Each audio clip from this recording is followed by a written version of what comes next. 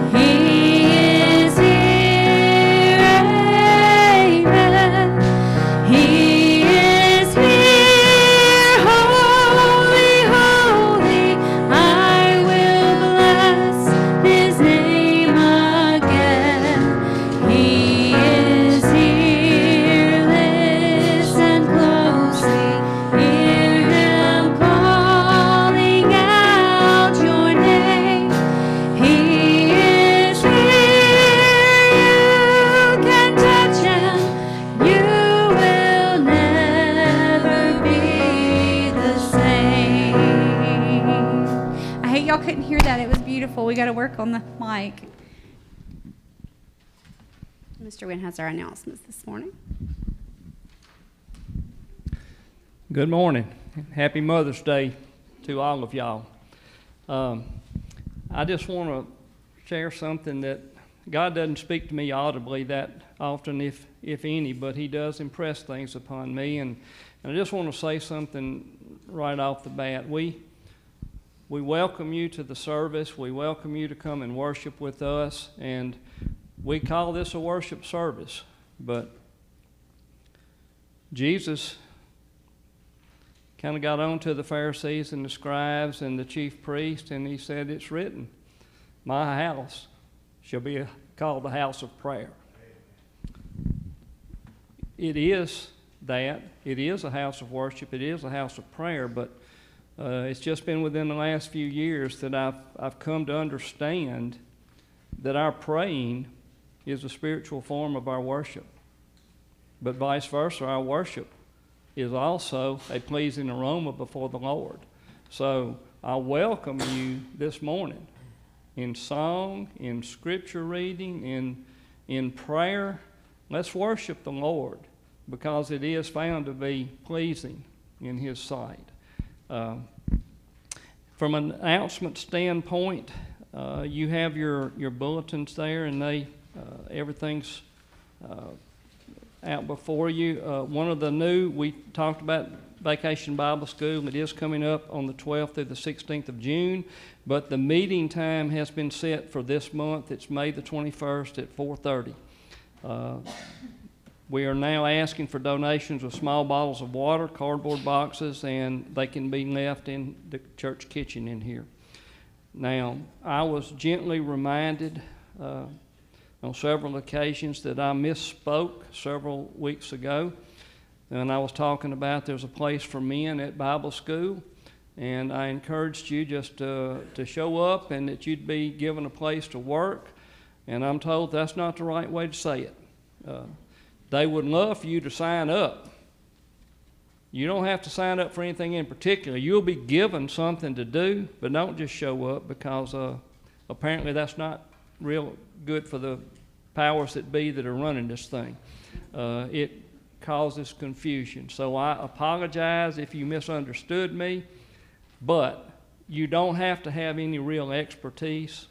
Uh, all of us male type people can be useful in Sunday, in uh, Bible school. So, uh, and there are people who will tell us what to do and how to do it. So just come. But put your name on the book, please. On, on the, uh, don't forget, we talked about the request for us to be a participant either corporately or individually in the Shepherd Center. There's a list, a sign-up sheet back here. If there's some interest, just put your name on there, and that will determine whether we want to do this corporately as a church, depending on how much uh, interest and desire for involvement that we would have.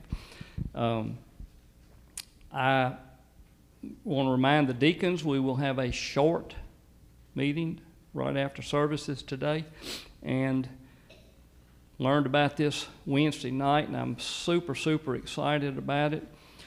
Hillary has done a lot of work. Uh, there is an app that can be downloaded for free. The instructions of how to download the app and how to use it are out here in the, uh, what do we call that place? Coffee drinking area. Anyway, anyway, but it will be more than just like a Facebook page. It is an app that we can have notifications set up, anything that's going on within the church, any needs, any prayer requests, any prayers of praise, any activities will all be available on that app. You can actually uh, put stuff into the app to let us know that there needs to be something put onto the prayer list. But I think it's going to be a very, very good tool for uh, for communication, uh, both to and from. So.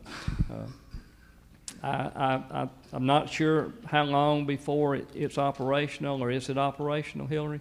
It is already operational, and if you have any input or some things that we would like to add to that, our, our prayer list, our, uh, all of these announcements, all this stuff can be on, on the, found on the app. So uh, I would encourage you to, uh, to look it up and, and download it.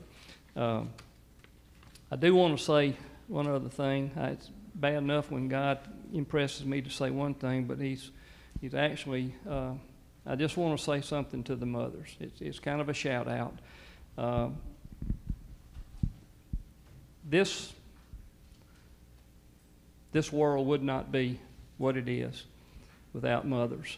Uh, we know the, the saying, God doesn't ever create any junk and He doesn't make any mistakes, but I think it goes further than that with, with mothers.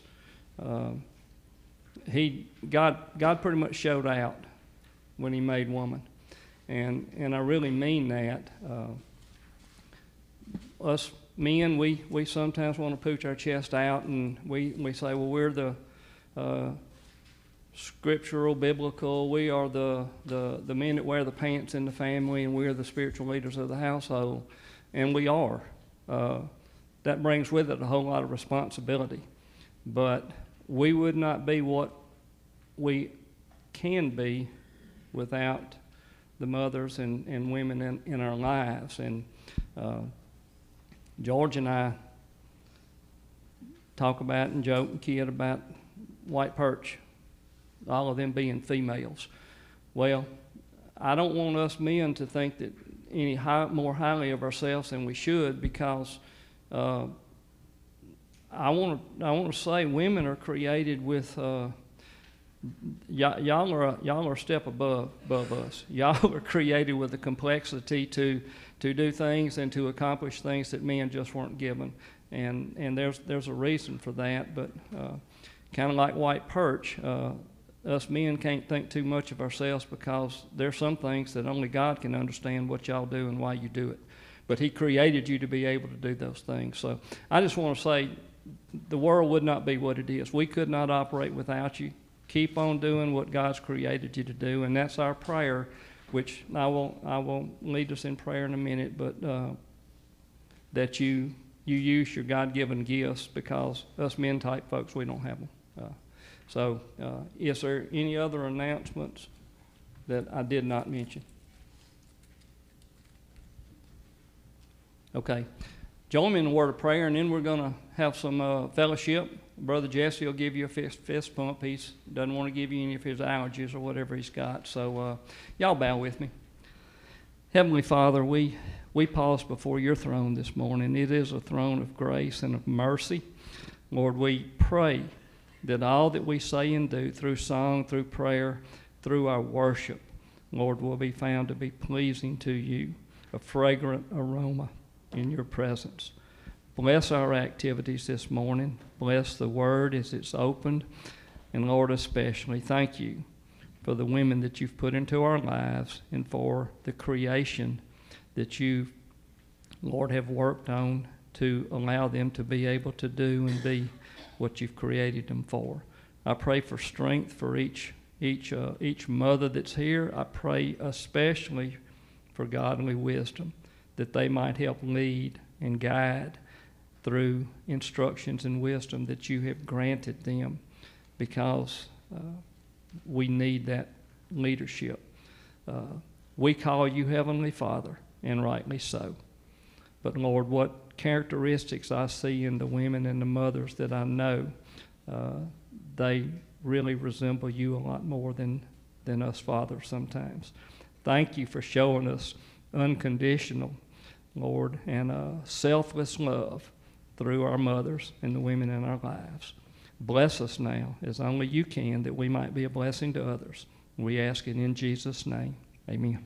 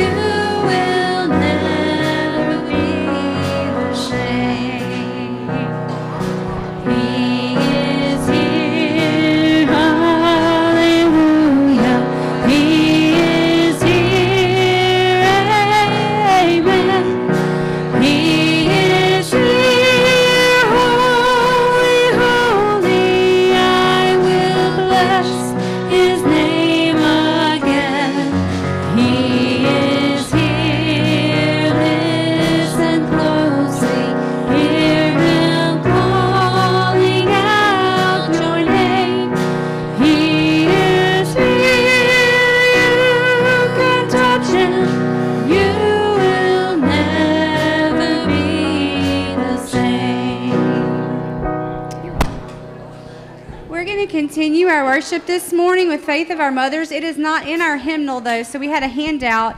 Did everybody get one? If you didn't get one, do we have extras? If you did not get one, raise your hand. The guys will come bring you one. While they're doing that, um, I don't know. I just want to say, what a great day. What a great day. I know a lot of us have lost our mothers, and that's hard, but God is good and faithful, and we have lots of spiritual mothers. So thank you to all of you here who have been a spiritual mother in my life. I appreciate you very much.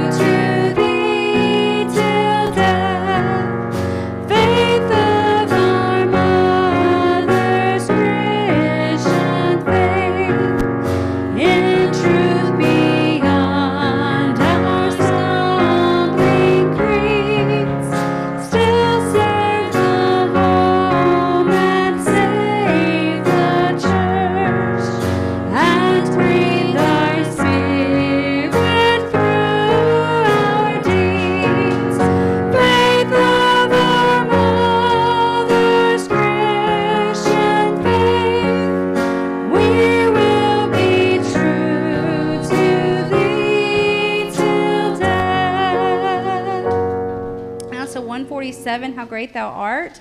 We will sing the first, third, and last verse.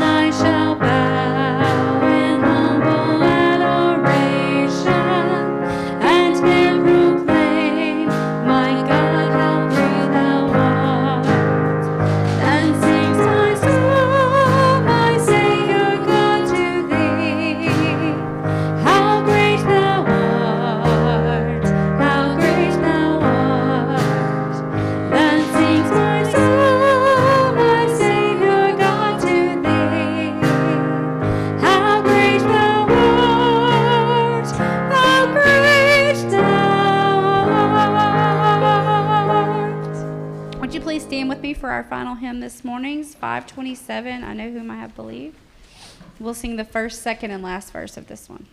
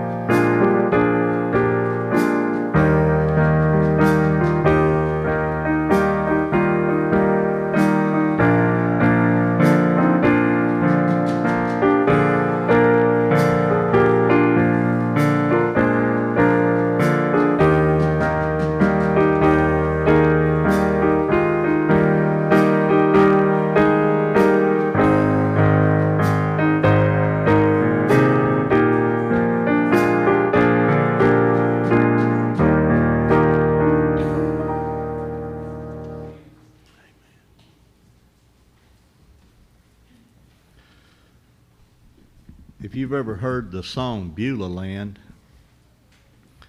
then you know the person that wrote this song. His name is Squire Parsons. And he has written some of the most beautiful hymns, gospel music.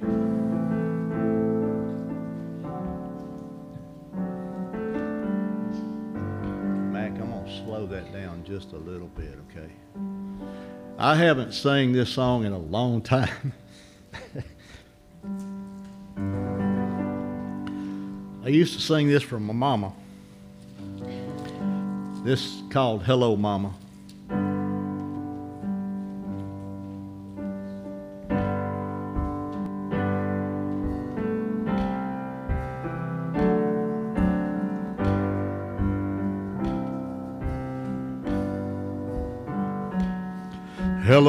Mama. I just called to tell you all those prayers you prayed for me. They were not in vain. Something happened tonight while traveling down a country road. I thought you should be the first to know that I am not the same.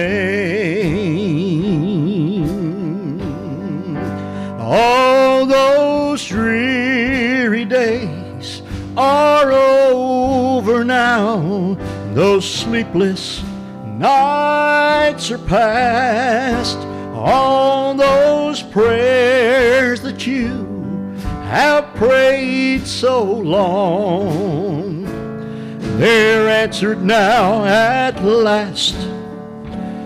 Cause I'm not, not the boy I used to be. Mama, you can sleep tonight, for I found Jesus. Now everything's alright.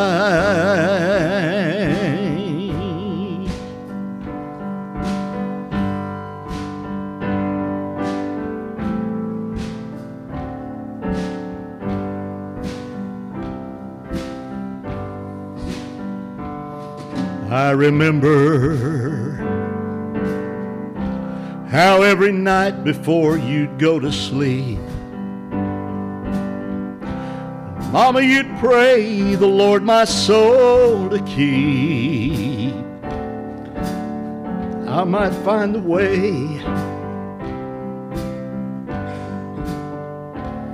And Mama, all that loneliness and all those wasted years. Mama, your prayers kept ringing in my ears every night and day. All those dreary days are over now. Those sleepless nights are past. All those prayers have prayed so long, they're answered now at last. Oh, I'm not, not the boy I used to be. Mama, you can sleep tonight, for I found Jesus. Now everything's alright. Now I found Jesus. Now everything's alright.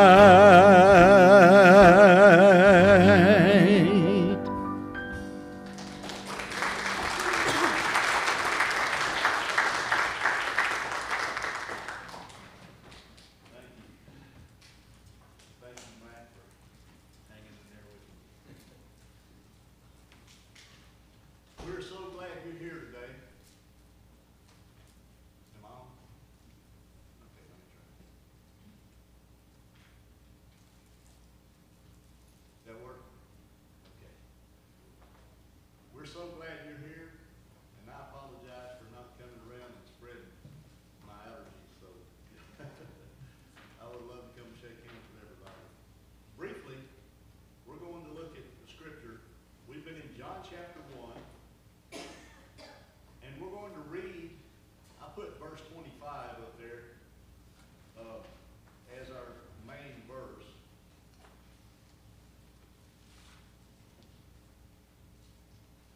We've been studying through the Gospel of John. You're still not there.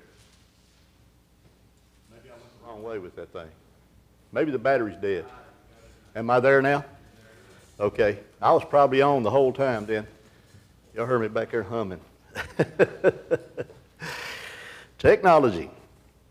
John chapter 1.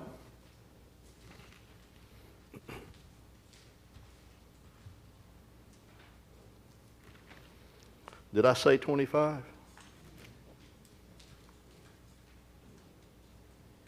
I said 34, didn't I? I'm sorry. Yeah, I said 25, but I, I had told uh, someone else earlier 34. John 1 34. Um, pardon me. I got all emotional with that song.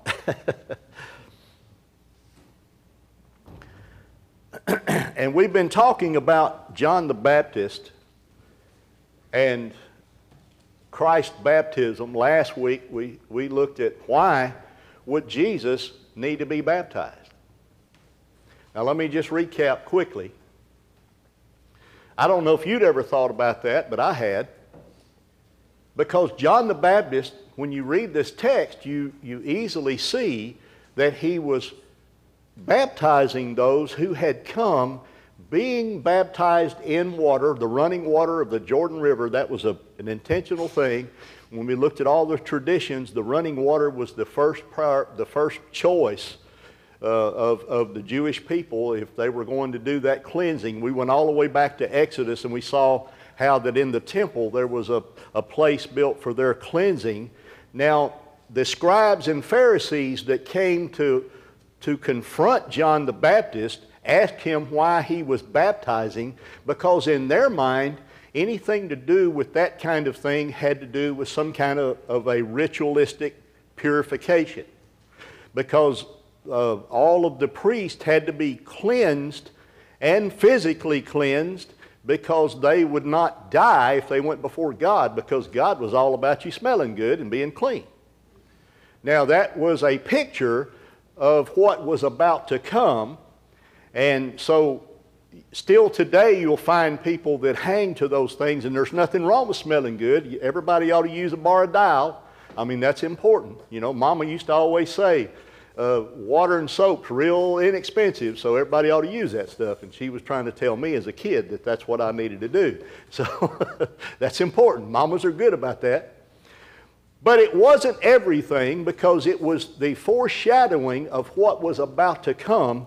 And now, John the Baptist, the forerunner of the Messiah, the Christ, Jesus Christ, who actually happened to be his cousin, he was foreshadowing, he was talking about the Messiah was here. And so now he was doing something that what had been shown in the Old Testament ritual he was actually baptizing people in the Jordan River, immersing them. You know, I'm not criticizing anybody else. That's just that's what we do as Baptists. We we immerse people because he was immersing them in the Jordan River, not to cleanse their sins, but because of the cleansing of their sins, because they had confessed their sins as a Jew. They had confessed and got right with God as a Jew because his message was to the Jews. And again, you, a lot of people get after me for being so dispensational, but that's exactly the way the Bible is laid out. Because you got to be careful what you use and apply. Remember, we said here recently that in the uh, interpretation must always precede application. If you read a verse of Scripture, you have to get the proper interpretation before you can accurately and correctly apply that to your life. Now, many things are in principle.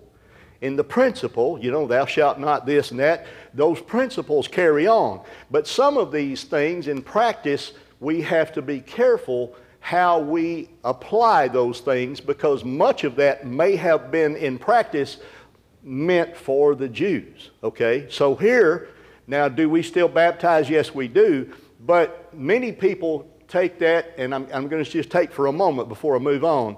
Many people take that because they got in the water, uh, that meant they were getting cleansed by the water, and that's not what the, that's not what the text was saying, okay?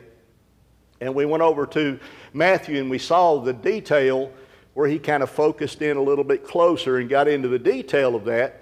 And even John the Baptist said, Well, why are you coming to me? Because you're the, you're the Messiah. you need to be baptizing me. And Jesus said, Because we're doing this to fulfill Scripture. So Jesus didn't need to have his sins washed away. He didn't need to repent. He was the God man, okay? That hypostatic union that we've talked about between being all God and all man all at the same time. And that's about the best I can explain it to you because that's something we have to take by faith. Okay, now I'm hurrying through this, but I want to get us to where we were so that we can refresh our minds. So now, J- John says, here is the one that we've been talking about. And he says in verse th- 34, and I have seen and have borne witness that this is the Son of God. And that's what really John has been saying from verse 1. He is the Son of God. He is the eternal Son of God.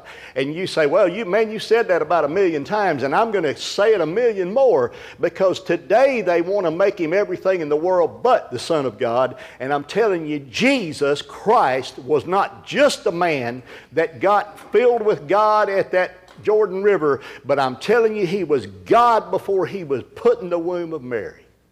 And that's a fact. Now, that's something you, people can say, well, you're crazy.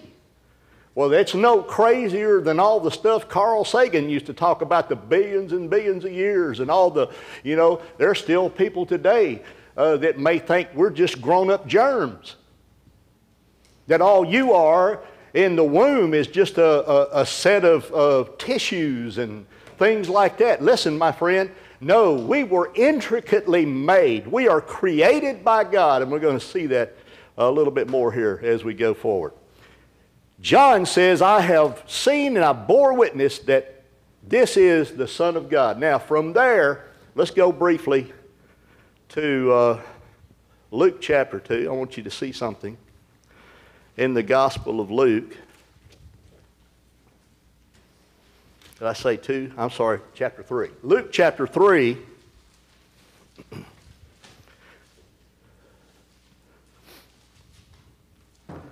The Gospel of Luke, chapter 3, verse 21. And I like seeing, I like helping people see all of these uh, Gospels come together on this. In verse 21, he says, Now it came about when all the people were baptized that Jesus also was baptized. And while he was praying, heaven was opened up. Look at verse 22. And the Holy Spirit descended upon him in bodily form like a dove. And somebody has mentioned that this is the only time that we find where the Father and the Son and the Holy Spirit are all like manifested in one place. Because the voice of heaven coming from, from, from, from heaven, this is my Son. And that's what he says Thou art my beloved Son. In thee I am well pleased. But we see also, so we see the Father speaking from heaven, and we see the Son there in the Jordan River being baptized, and we see bodily, like a dove, lighting, the Holy Spirit lighting upon him. Man, that's a beautiful picture. Now, you get to stirring around about that while you're fishing. I'll tell you right now, you'll be scaring off all the fish because you'll start, whoa, man, you just start having one of them Baptist spells. You know what I'm talking about. Okay, now look at verse 23. And when he began his ministry, Jesus himself was about 30 years of age, being, now mine said supposedly, and I'm not real fond of that term, but that's the translation they made here. What this literally be, being supposedly the son of Joseph, the son of Eli. Now, the literal there is more like this as it was being thought. So, in other words, literally the translation says he was the son of Joseph, the son of Eli, as everyone assumed or as they thought, okay? So that was the case, but was it the case? Joseph was his earthly father in the sense of raising him, but I want to take you one more step before we go back to Genesis, and then we're going to talk about mamas. But I want you to see Matthew. I'm sorry to make you turn a lot, but you're going to do that with me. I'm just that way. I'm, I'm just going to make you turn. I want you to see the scripture. I don't want you just to hear what I have to say. I want you to see it from God's Word, and you can write it down if you don't have your Bible with you. You may be looking on your phone, that's fine. You make a note or something like that or highlight it. Y'all may be more techie than I am. I'm, I can not do all that stuff because I'll lose it. look what he said. Matthew, and people said, man, I read this and it's just so boring because it's the genealogy. That's what this was all about. Matthew was writing because he was writing to the Jews. And they needed to see the genealogy here. And it's important because that's a record. Now, look what he says, and I'm not going to read the first uh, 15 verses. You'll do that later, and some of these you're not going to be able to.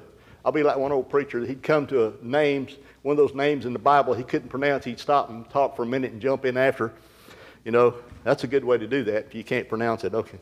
You know, but anyway, in verse 16, I want you to see this one little point right here. We said, John says, This is the Son of God. I've, I've borne witness, and I have seen this. And Luke says that he was, as people suppose, the son of Joseph, the son of Eli. So look at what Matthew says, and this will nail the thing down for you.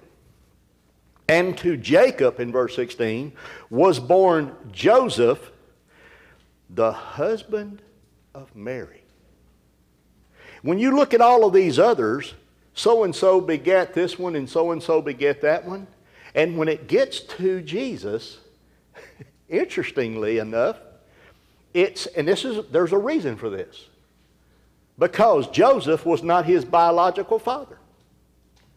The Holy Spirit was the one that placed him in Mary's womb. Amen. I'm going to stand on that until the day I check out, till I kick that bucket. And to Jacob was born Joseph, the husband of Mary, by whom was born Jesus, who is called Christ. So there is, scientists don't like the word proof, but there it is. There's evidence of it. There's right there. The Bible even says very plainly that Joseph was not his biological father. I can imagine,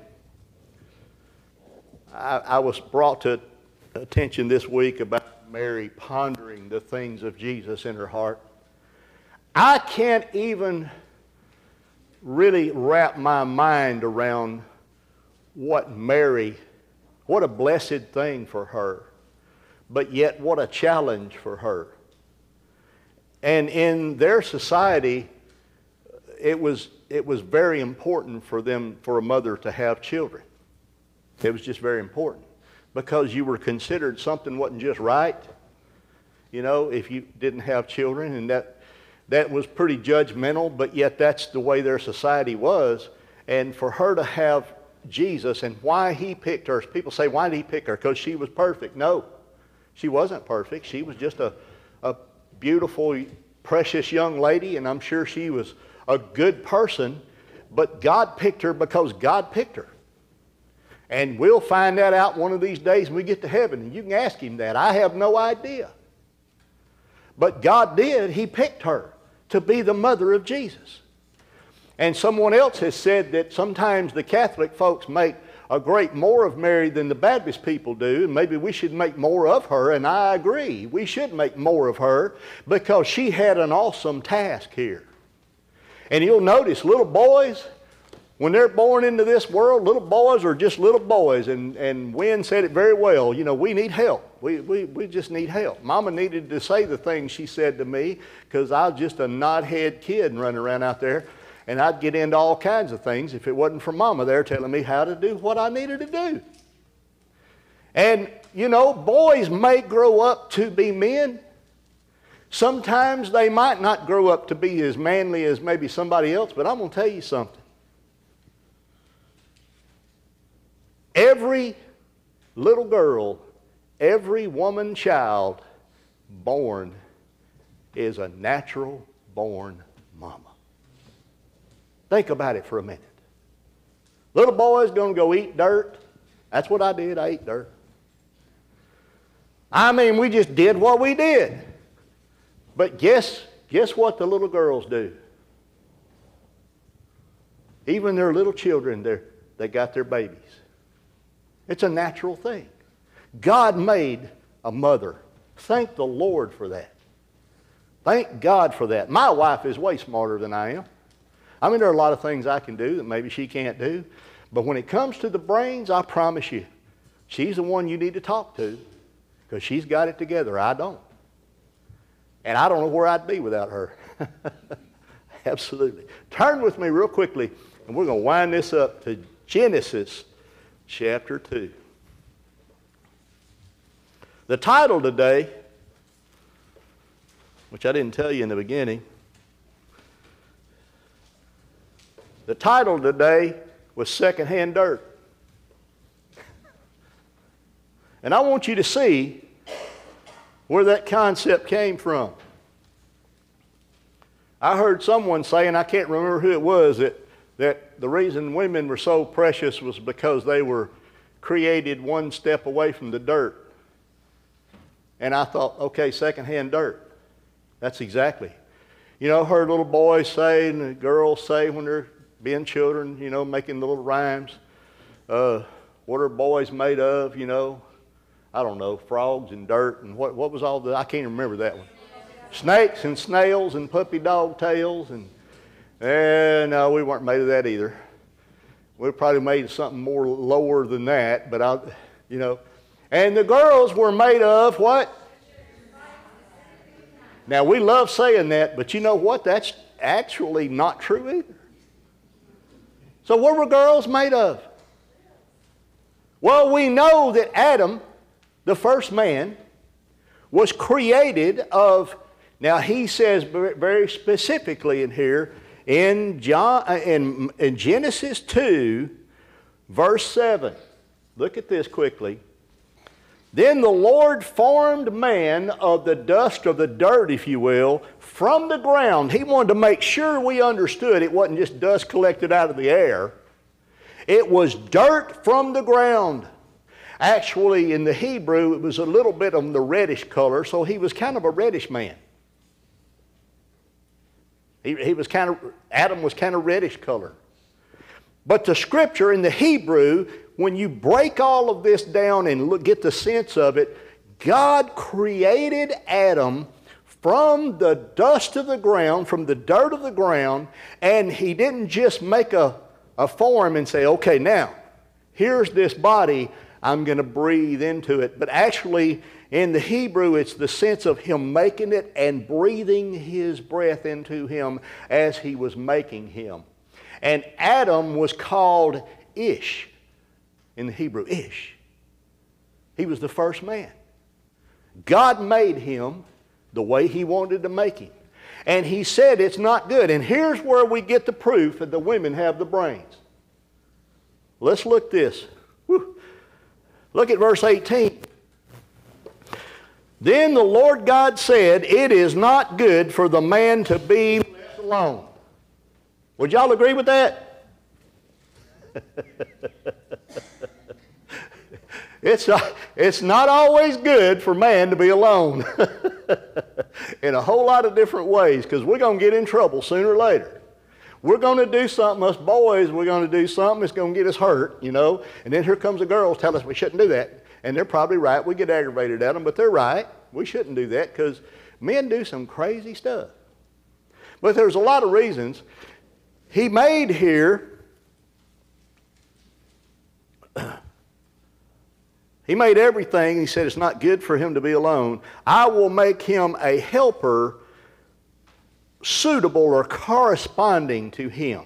Okay? In other words, she'll be like him, but not exactly like him.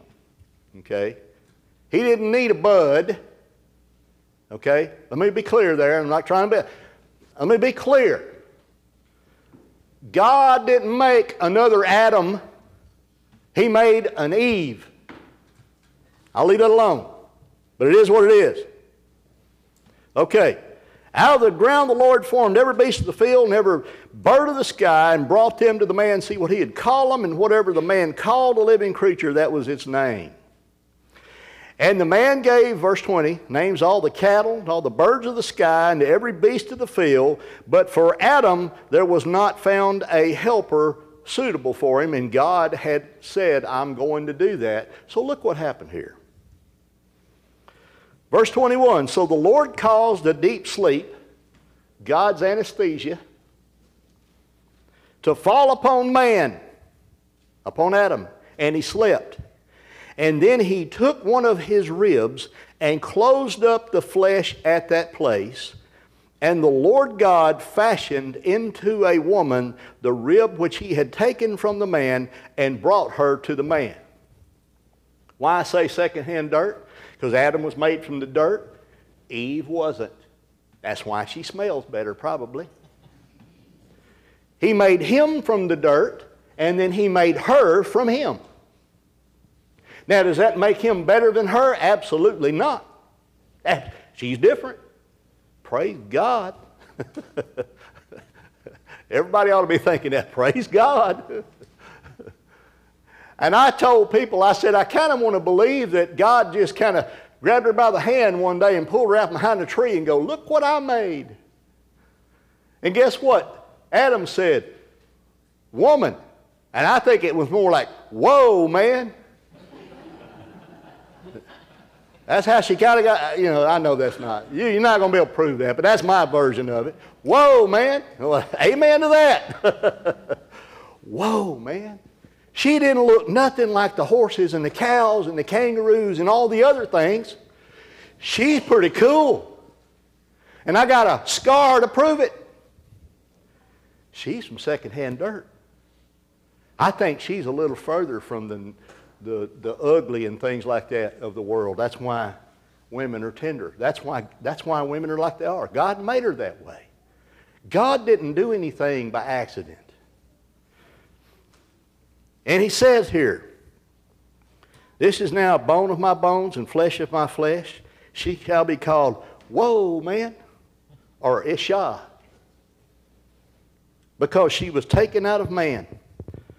And then he prophesies a little bit, For this cause a man shall leave his father and his mother. He didn't have a father. This is a prophecy. Adam didn't have a father, he didn't have a mother. Eve was going to be the first mother. So he's prophesying here. He's saying, she, A man shall leave his father and his mother and shall cleave to his wife, and they shall become one flesh. And the man and his wife were both naked, and they weren't ashamed because they didn't know any different. Nobody else around say anything. I want you to know God didn't make any mistakes. God did what He did because it's what He wanted to do. And this whole world will always be trying to pervert what God made. And I was taught, and I'm sure you were taught in our early years, that the home is the heart of our society. We need, we need daddy. Oh, yeah, we need daddy to take us out there and and do like John Wayne did and throw the kid in the water and teach us how to swim. You know, I mean, that's kind of drastic, but hey, we learned how to swim. Mama's crying, oh, don't do that, don't do that. You know, we need that balance. We need the two, we need both. God never intended, and I'm not, compl- I'm not trying to be legalistic with people because I know we have Brady Bunch family, mine's, mine's the same. And I understand that, and I'm not criticizing that. I'm simply saying that God made that balance between mother and father for a reason. And there's, it is no accident that the evil one, the enemy of our souls, is trying to tear all of that fundamental from our, the fabric of our society. There's a reason for that. He's trying to destroy everything God made. God made that for a purpose. There's a reason. You need the toughness of daddy just as much as you need the tenderness of mama. You need that tenderness of mama just as much as you need that toughness of daddy. And everybody's not exactly the same, and I'm not trying to put everybody in the same bag. I'm simply saying we need what God has made. And we need to understand that that's precious. That's what we need to know. So, whatever you do, I think you need to kiss and hug your mama. Just more so, I wish I had mine here today to do that. She's in heaven, and I wouldn't bring her back here for nothing because I know she's there with Jesus and my daddy, and I know she's happy, and I know she wouldn't, as much as she may miss us, she wouldn't want to come back to this earth after being in his presence. But I'll tell you right now, hug your mama while you got her. You know why? Because she made secondhand dirt, not firsthand dirt, secondhand dirt. She's precious. She's precious. She was made one step further away from that dirt. Let's pray.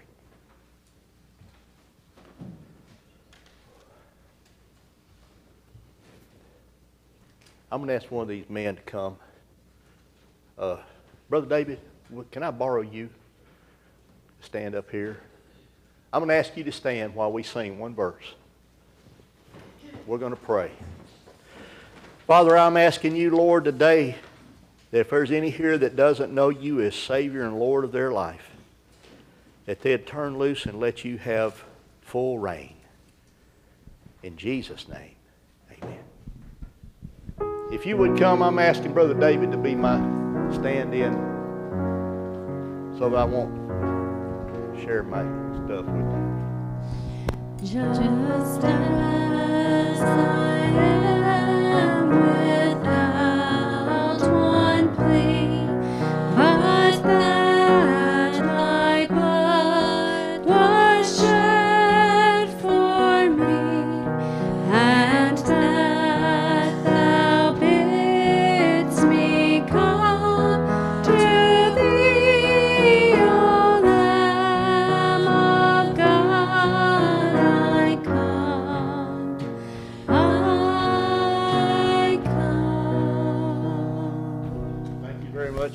kind attention today.